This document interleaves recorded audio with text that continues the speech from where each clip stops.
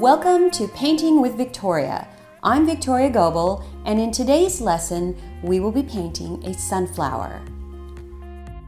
So before we get started, there's some drawing we're gonna have to do, and in your kit, you have three templates. You have a circle and two size petals. So what we're gonna do first is take out our circle and our pencil, and usually when I do the sunflower painting, I like having it off to the side. Somehow putting it in the middle, just it's not a good composition. So let's go ahead and pick a spot, oh, let's just say right about here. And you're gonna go ahead and trace all the way around. Make sure you press a little hard just so you really see that circle coming through. There. So now what we're going to do is we're gonna take the small petal. And what you're going to do is just um, lay it down. See how the circle comes behind the petal? That's good. We want that to happen. Don't put your petal like this. Make sure that it comes into the circle right about here, okay? So now what you're gonna do is just trace.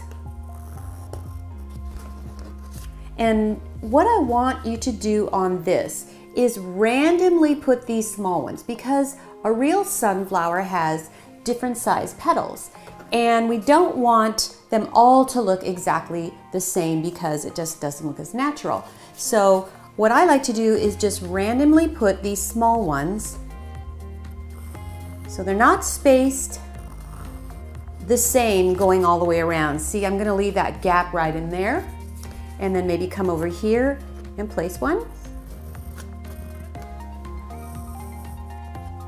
And so on and so on. Go ahead and just use your own artistic freedom to decide where you're going to put your petals. I'm going to go ahead and put these two close together. Um, that one there. Hmm. I'm going to go ahead and put one more. I'm going to put it right here. There. So now you're going to take your larger petal and I always say just start somewhere, start anywhere. So the same thing, you're going to want to make sure that it goes behind the circle. Now some of your petals are going to go off of the canvas. That's okay, that's good. So I'm going to go ahead and just start tracing. And these are going to be very tight. They're going to be close to each other. And this one is going behind these right here. So I'll go ahead and all you're gonna see is this much of the petal. So this one will go right next to that one. Sunflowers usually have a lot of petals, so we really wanna make sure that we keep this nice and full. So as you can see, it's really starting to fill out. So go ahead and continue to do what I'm doing here trace your petals and then we're going to block in the background.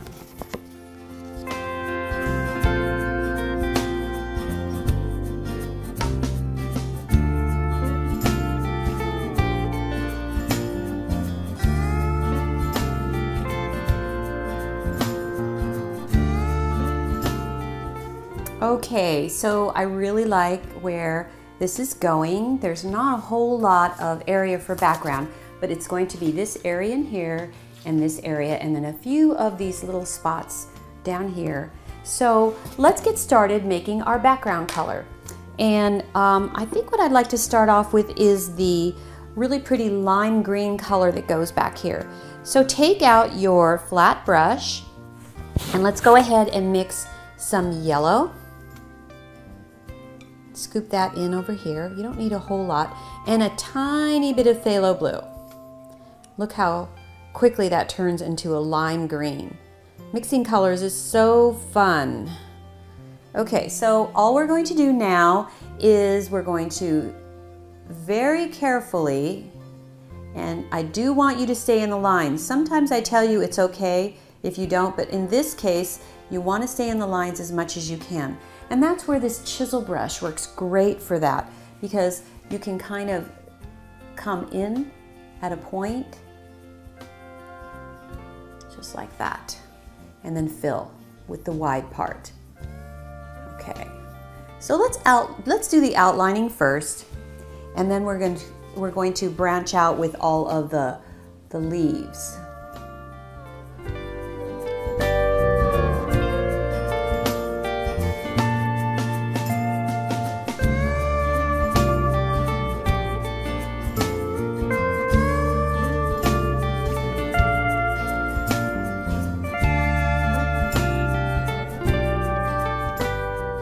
Okay, so let's keep going to the larger part of our background. And we're just gonna block it in real sloppy. Just slap that paint in there, fill it up, get rid of all the white part of the canvas. Don't wanna see any white canvas, okay? And what we're going to be doing is working wet on wet, which means our colors will blend nicer because the paint is wet. Um, if, if my background was dry, then I would just be laying out another color on top of it. So I wanna make sure that my canvas stays wet while we do this part. So what I'm gonna do now, kind of go back over some of the areas that I already did. I'm gonna take the phthalo blue and mix it in so I've got a much richer green color. Isn't that pretty? And then I'm gonna start doing some little leaf strokes, just like this, swish, swish, swish, swish. Kind of just let them overlap each other. And this just sort of represents the foliage of leaves behind our flower.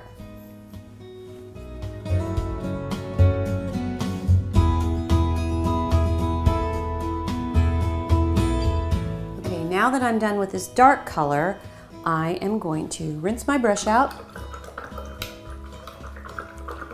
And I think what I'm gonna do is take it and just put it right in the yellow.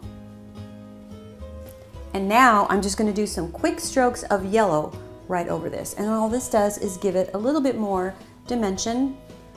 Also represents all the leaves in the front and that are catching sunlight.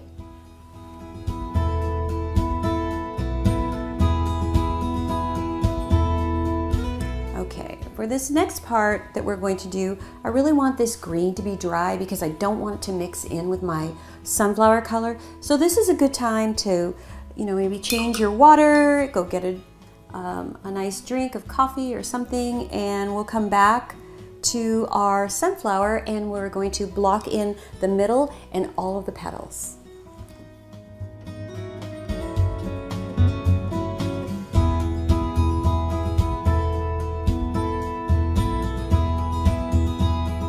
Welcome back.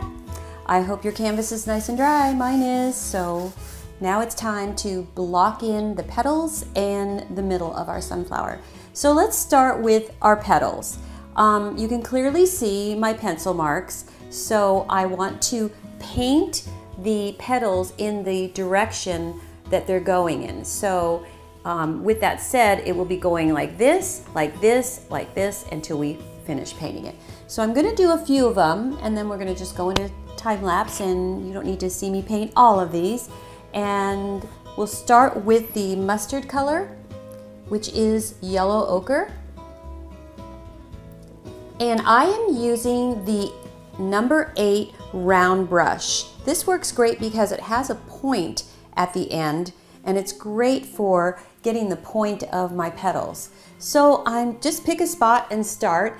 If it's um, let's, I'll tell you what, let's start with the ones that are in the back, which are the big ones. So we're gonna just go in a downward motion to stay with the direction. And you can get out of the lines right here. Go ahead and come into the circle. And see how I use the point of my brush to get that nice pointy edge on my petals. Come in. And you can usually see the lead come through. So even if I hit the other petal, I can still see the lead. I'll still be able to fill that in. So continue to do this for all your petals. When we get to the small ones, all you're gonna do is come back over and paint it in the direction of the curve. And like I said, don't you can get out of the lines, that's totally fine. Just make sure you don't see any of the canvas. We don't want to see any white coming through. Blocking in means we're blocking in paint over the canvas before we layer all of our details. Okay, so I'm gonna go ahead and finish painting my petals and you have fun doing the same.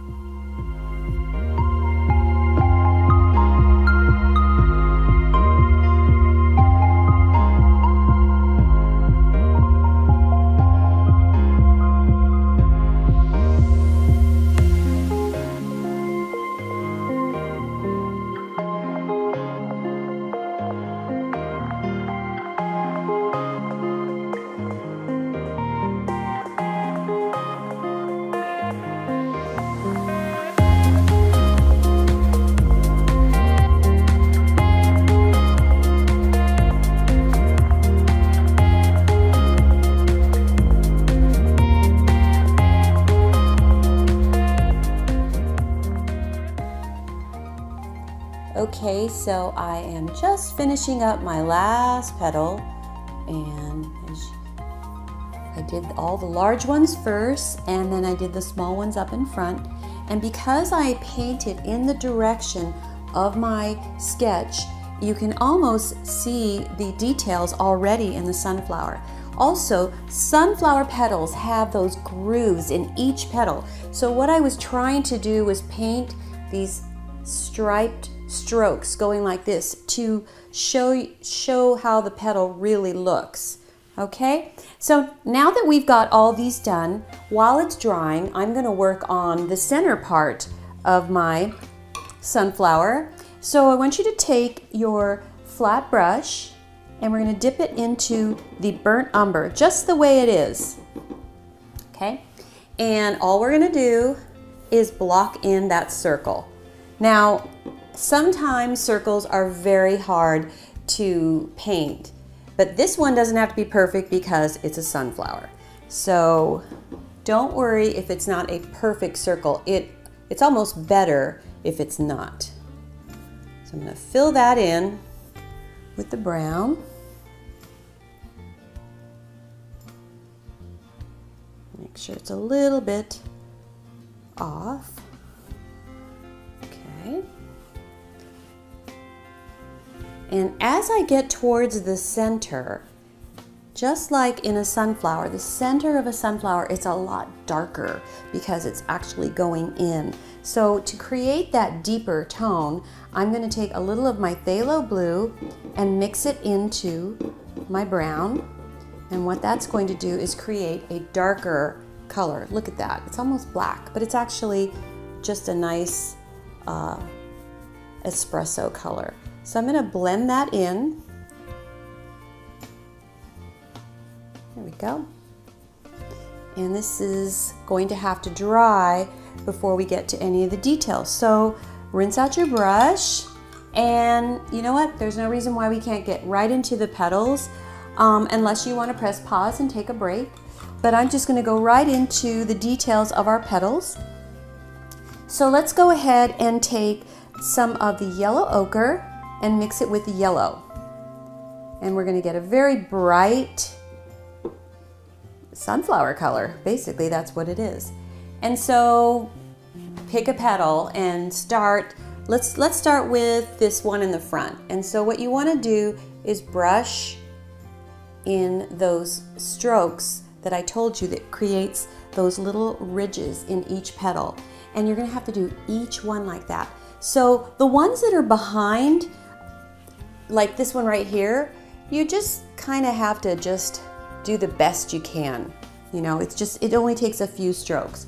But the ones in the front, you want to make sure, I always say start with the line down the middle and then come across and across and then till you actually outline the petal. And that's all there's to it. So we're going to do each petal like that. Take your time. This is a very, very important part of creating the motion of our sunflower.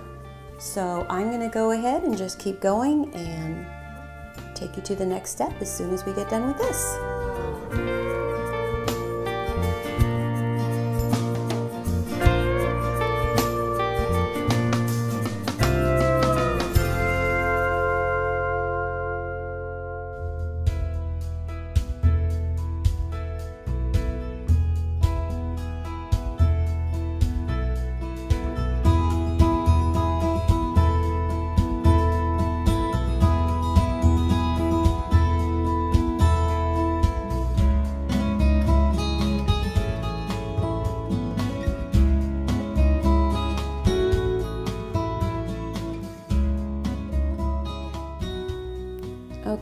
So I'm pretty much at my last petal here. Woohoo! So let's see if I missed anything. Nope. So now that we're done with uh, this phase, we are going to go into creating a lighter um, shade on our sunflower, basically where the sun is hitting it. And the way we do that is we add white to the color that we were using. So I'm gonna add some white to this yellow. So pretty. And so I don't want to do the same exact length of each petal like I did um, with the first color. So um, I'll just start right here and what we're going to do is shorter strokes. Just like that. So you're going to leave this dark and this dark in here. And then just continue until you finish every single petal, just like we did before.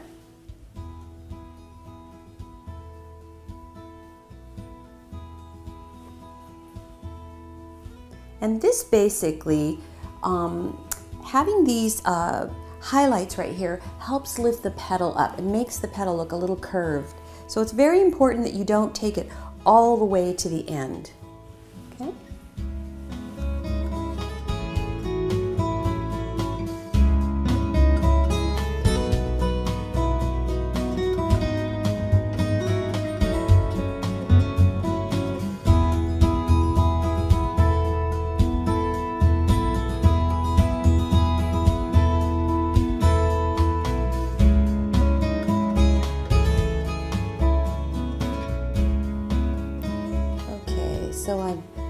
Much finished with that. Um, I might want to come over and hit it in a few places.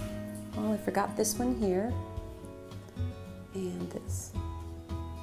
This looks good. I'm really happy with this so far. So what we will do is let this dry. And while we're letting this dry, we're going to work on the center part of our sunflower. And so um, we're going to work on these little tiny um, dots going all the way around. Now this is extremely time consuming and I don't want you to feel rushed doing it. So if you feel a little tired after doing your petals, just take a break and come back um, because it's going to be a lot of little dots going all the way around. So I'm going to go ahead and keep going and show you.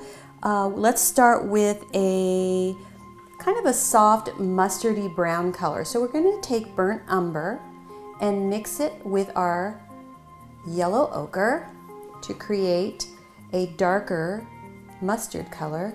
And what I'm going to do is I'm going to go all the way around the edge. And I'm trying to get rid of, what I'm trying to get rid of is this smooth edge going all the way around. So I'm purposely going to get out of the lines and go all the way around.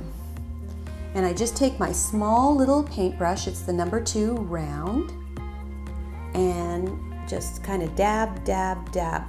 In a lot of my paintings, I have um, a lot of little dots that I like to use, and the best way to do it is to just use a small brush and just take a little dab like that and hit it, just like this. So we're gonna go all the way around, and then I'll take you to the next color.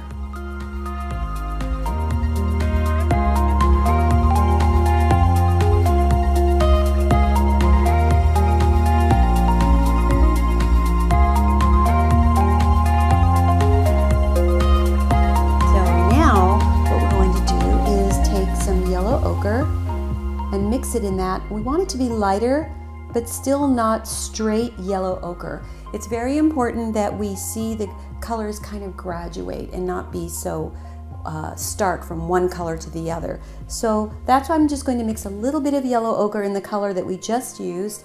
And now what we're going to do, and try to think of this like a donut. We're going to put dots in the shape of a donut going all the way around this middle. So all I'm gonna do is just start dotting it and make sure they're kind of close together. Don't, um, don't leave a lot of brown space in between. So I'm gonna go all the way around. If it's easier for you when you get to a certain place to turn your canvas and do it this way, then do that because sometimes it just makes it our job easier. So I'm gonna keep dotting and dotting and go, like I said, in the shape of a donut all the way around, but don't come into the center.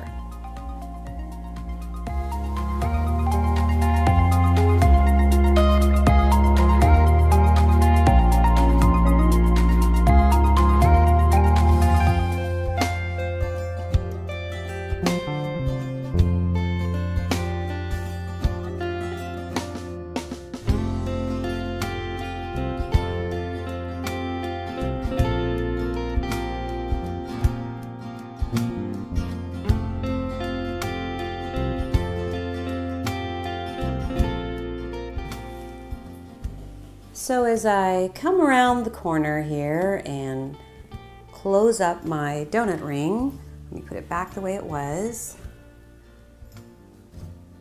I'm going to put a few coming, kind of coming in here. Now I'm going to switch colors to a darker color in here. And the way we do that is we just go back to our brown and add it to our color make a nice mocha color. Mix the, the, the burnt umber with the yellow ochre and let's go ahead and just start with the center and all you're going to do is the same thing but you're just going to fill it up. Let's fill up the hole here and blend it right into the other color. Now here's a fun fact. With acrylic paint, your paint always dries darker than how you uh, lay it down on the canvas.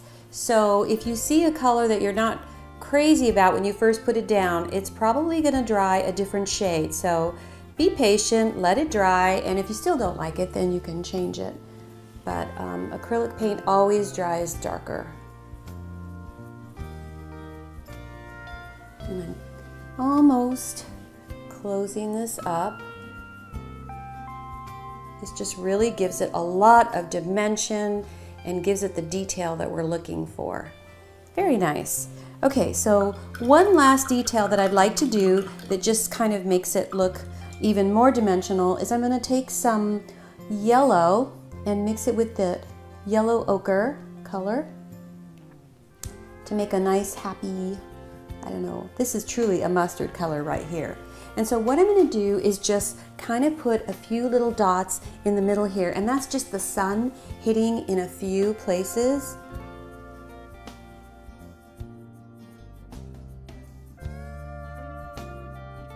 Okay, we're going to do a few more details on our petals and then we are going to sign our painting and call it done. So I like what I see so far here. I see where I, I definitely need some more highlights because my paint dried darker than when I first put it on. So what I'm gonna do is take some white and mix it with the yellow. Get a very nice lemon color, very light lemon color. Okay, so what I'm gonna do is just in right here in the middle in a few places is hit it again. And what that's doing is making my petal look curved. So just continue to do that on the rest of the petals and then all we have to do is put in a few shadows and then we're done. So I'm going to keep going and I can already see it lifting and curling. That's exactly what I want.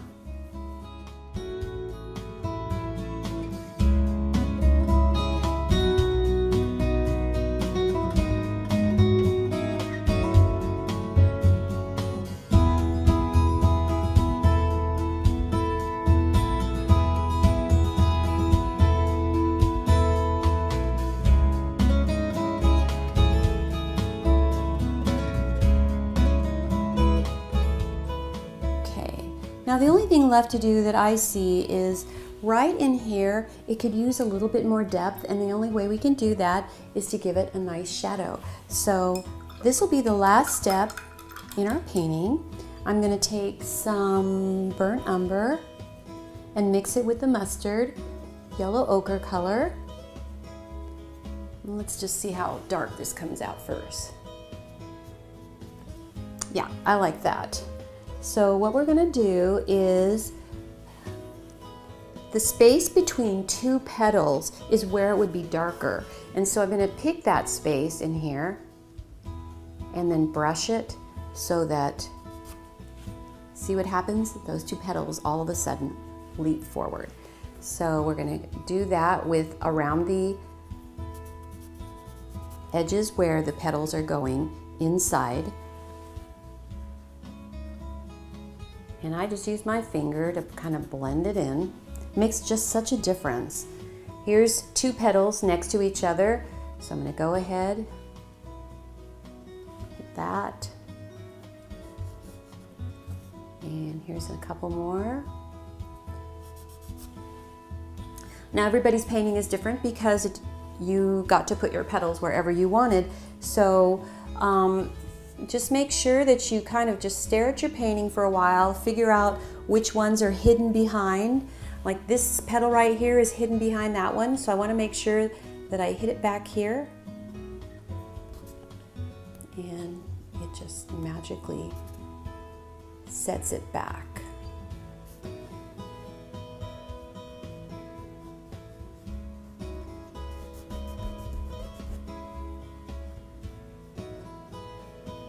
And this is the final part of our painting. So um, you might want to just um, maybe look at it tomorrow and see if it needs any more details. It's your painting and you can just do whatever you want as far as adding. You can't really take things off, but you can definitely add. So I'm just going to hit it in a few places down here.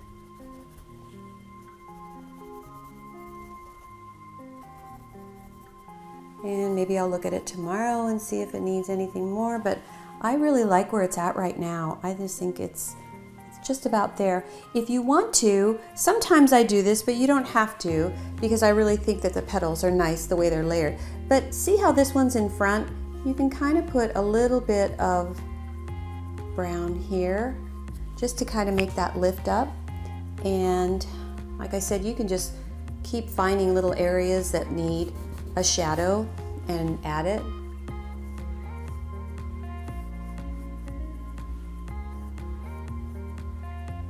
Just a, just a little stroke is all it takes sometimes to make that petal lift out, but I think that's good. I'm gonna stop. I really like this. Voila. So sign your painting and get a beautiful frame for it. Um, everyone could have a sunflower painting in their house. Um, it just fits anywhere in anybody's home.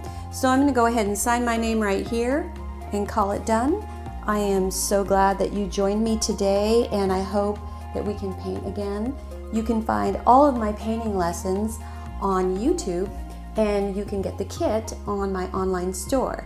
There are 13 kits to choose from right now, but there'll always be more coming. So I'm gonna take the Phthalo Blue sign my name.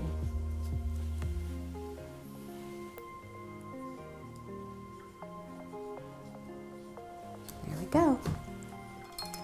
Thanks for watching and we'll see you soon. Bye-bye.